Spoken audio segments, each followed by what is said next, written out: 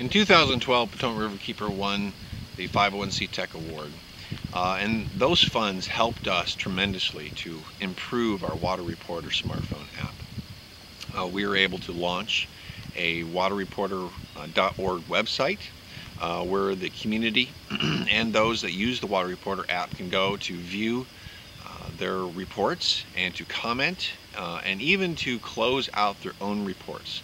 Say if they see uh, trash along the river and they go ahead and clean it up, they can close out those reports. They can also see and respond uh, to our comments that we make on their report.